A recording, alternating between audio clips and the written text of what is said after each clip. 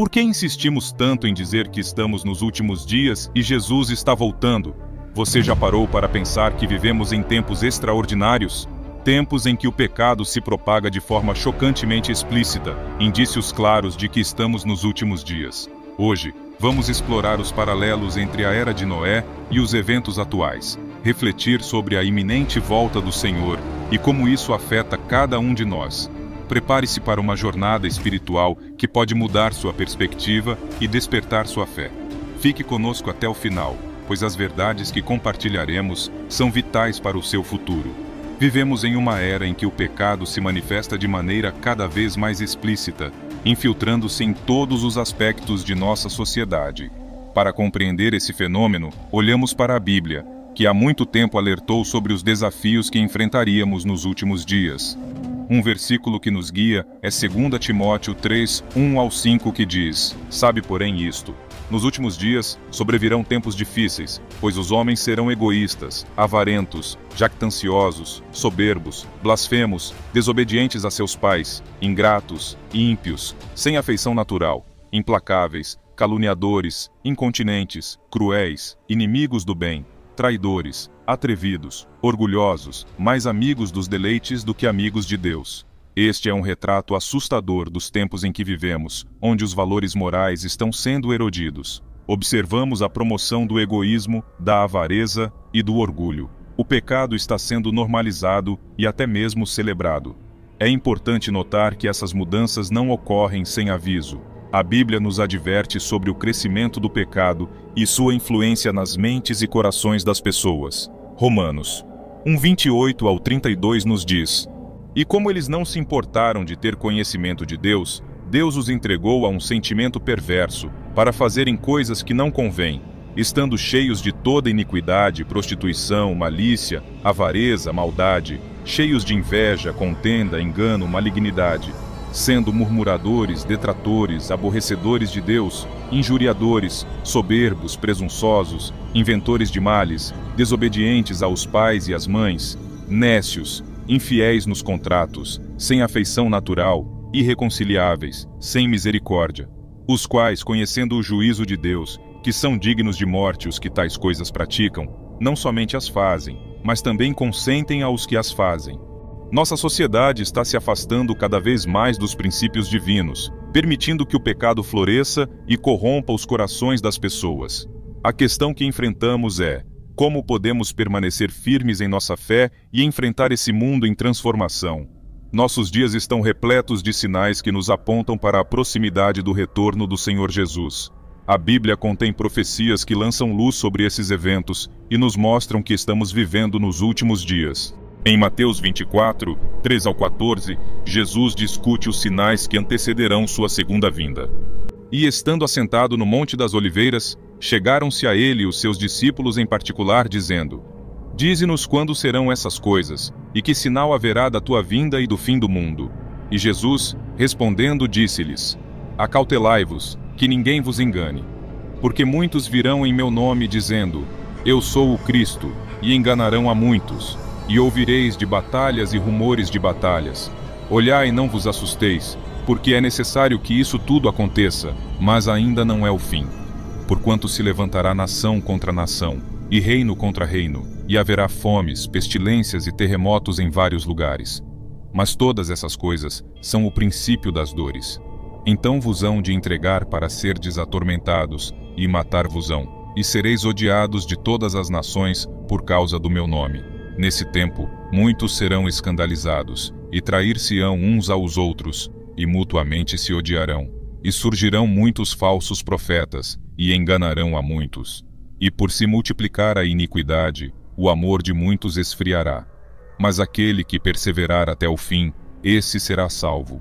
E este evangelho do reino será pregado em todo o mundo, em testemunho a todas as nações, e então virá o fim. Esses versículos descrevem uma série de eventos que incluem enganos espirituais, conflitos, desastres naturais, perseguições e um resfriamento do amor e da fé. Todos esses são sinais que apontam para o retorno iminente de Cristo. Hoje, testemunhamos conflitos em várias partes do mundo, a disseminação de falsas doutrinas e uma crescente falta de amor e compaixão. Esses eventos nos fazem questionar: estamos preparados espiritualmente para enfrentar os desafios que os últimos dias trarão? Para compreender os sinais dos últimos dias, é essencial observar os paralelos com os tempos de Noé, conforme nos relata a Bíblia. O livro de Mateus 24, 37 ao 39 nos apresenta essa ligação. Mas, como nos dias de Noé, assim será também a vinda do Filho do Homem. Porquanto, assim como, nos dias anteriores ao dilúvio, comiam, bebiam, casavam e davam-se em casamento, até ao dia em que Noé entrou na arca, e não o perceberam, até que veio o dilúvio, e os levou a todos. Assim será também a vinda do Filho do Homem. Essas palavras de Jesus destacam a semelhança entre os tempos de Noé e o período que antecederá sua segunda vinda. Nos dias de Noé, as pessoas estavam imersas em suas atividades cotidianas, indiferentes às advertências divinas, e hoje vemos muitos que continuam suas vidas despreocupados com a proximidade do retorno do Senhor. Noé, enquanto construía a arca, enfrentou ridicularizações e zombarias. Assim como Noé perseverou em meio à oposição, devemos manter nossa fé firme e nos preparar espiritualmente para os eventos finais que se aproximam. A palavra de Deus nos alerta sobre a iminente vinda do Senhor, comparando-a ao retorno de um ladrão da noite. Em 1 Tessalonicenses 5,2, lemos: Porque vós mesmos sabeis muito bem que o dia do Senhor virá como o ladrão de noite. Esta metáfora enfatiza a inesperada natureza do retorno de Cristo e nos insta a permanecer vigilantes espiritualmente. Nos dias atuais, muitas pessoas estão vivendo suas vidas como se o Senhor nunca fosse retornar. Elas se concentram nos prazeres passageiros deste mundo e ignoram as advertências divinas. Entretanto, como cristãos, somos chamados a estar preparados, como nos lembra Lucas 21, 34 ao 36. Olhai por vós, não aconteça que os vossos corações se carreguem de glutonaria, de embriaguez e dos cuidados da vida, e venha sobre vós de improviso aquele dia, porque virá como um laço sobre todos os que habitam na face de toda a terra. Vigiai, pois, em todo o tempo, orando, para que sejais havidos por dignos de evitar todas estas coisas que hão de acontecer, e de estar em pé diante do Filho do Homem. Aqui somos exortados a não sermos dominados pelas preocupações mundanas, mas sim a permanecer vigilantes, em oração constante, para estarmos preparados quando o Senhor retornar. É preocupante observar que muitas pessoas hoje em dia vivem suas vidas como se Deus não existisse, como se a fé fosse irrelevante, elas seguem uma rotina sem pensar nas implicações eternas de suas ações. No entanto, as Escrituras nos lembram da importância de buscar a Deus, como lemos em Jeremias 29,13, que diz: E buscar-me-eis, e me achareis quando me buscardes de todo o vosso coração. Isso nos desafia a priorizar a busca de Deus e a dedicação à Sua vontade em nossas vidas. Muitos hoje em dia estão mais interessados nos prazeres passageiros deste mundo do que em sua salvação eterna. Eles vivem como se a eternidade não fosse uma realidade. No entanto, a Bíblia nos alerta sobre a importância de nos prepararmos espiritualmente para o retorno do Senhor. Em Mateus 25, 13, Jesus nos adverte: Vigiai, pois, porque não sabeis o dia nem a hora em que o Filho do Homem há de vir. Esta passagem enfatiza a necessidade de estarmos constantemente vigilantes e preparados espiritualmente. Para aqueles que amam o Senhor e sua volta, essa chamada à preparação é uma oportunidade de crescimento espiritual.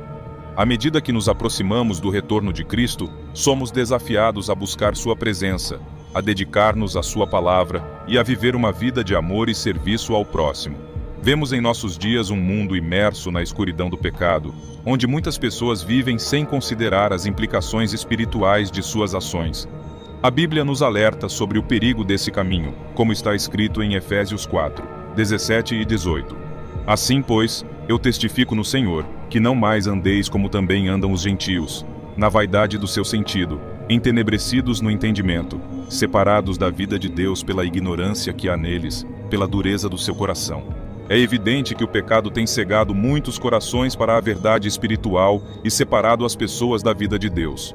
Como cristãos, somos chamados a ser uma luz em meio a essa escuridão, como Jesus nos exorta em Mateus 5, 14 ao 16.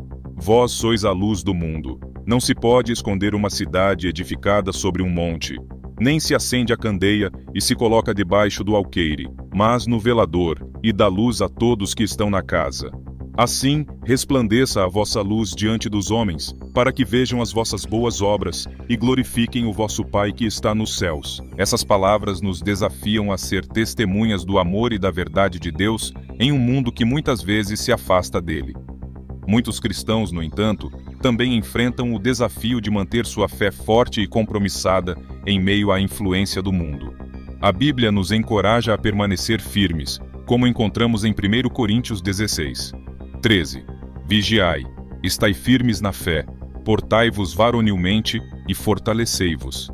Em um mundo onde a indiferença espiritual prevalece, somos chamados a ser testemunhas autênticas, a compartilhar o Evangelho e a permanecer comprometidos com Deus, não importa as influências ao nosso redor.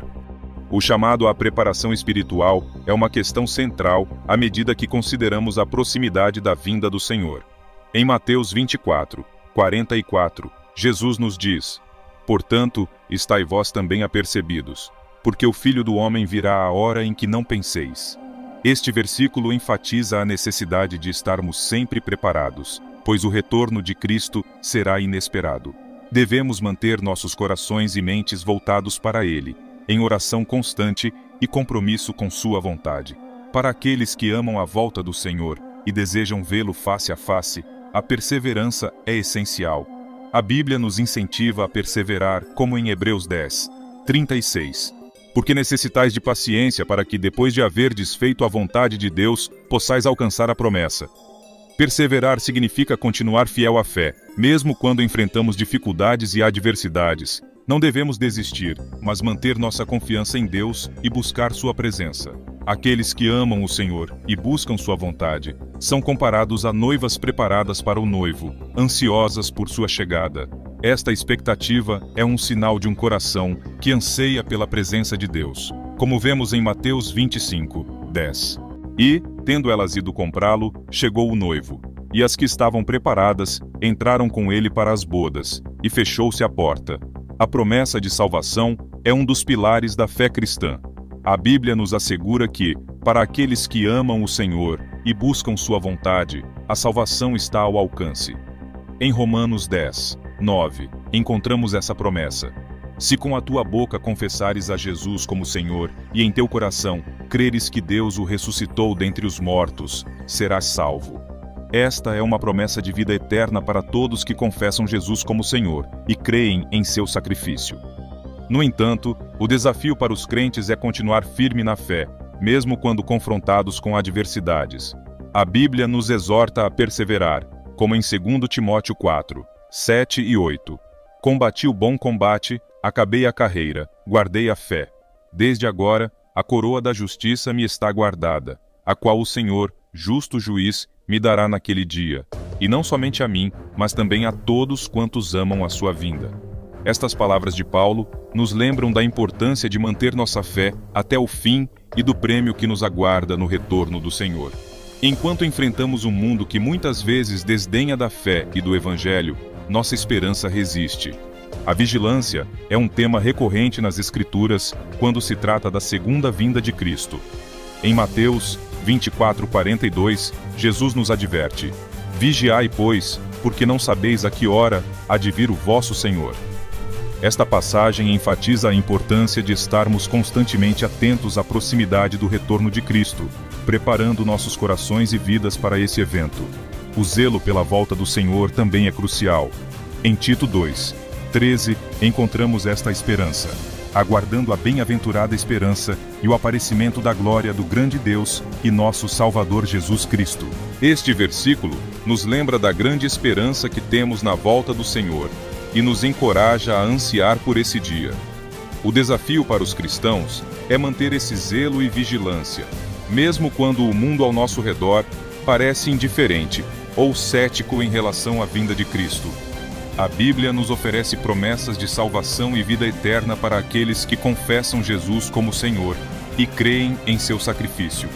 No entanto, também nos desafia a permanecer firmes na fé, a ser luz em meio à escuridão espiritual, e a permanecer vigilantes e ansiosos pela volta do Senhor. É um desafio viver em um mundo que muitas vezes parece indiferente à fé e à esperança da volta de Cristo. No entanto, como cristãos, somos chamados a ser exemplos de fé, amor e perseverança, compartilhando a mensagem de esperança com aqueles ao nosso redor. À medida que o mundo continua sua jornada em direção ao cumprimento das profecias bíblicas, que possamos lembrar da promessa do Senhor de que ele virá novamente. Que nossa fé permaneça firme, nossa vigilância seja constante e nosso zelo pela sua volta seja ardente. Que possamos perseverar até o fim e aguardar com alegria a bem-aventurada esperança da gloriosa volta de nosso Senhor Jesus Cristo. Amém.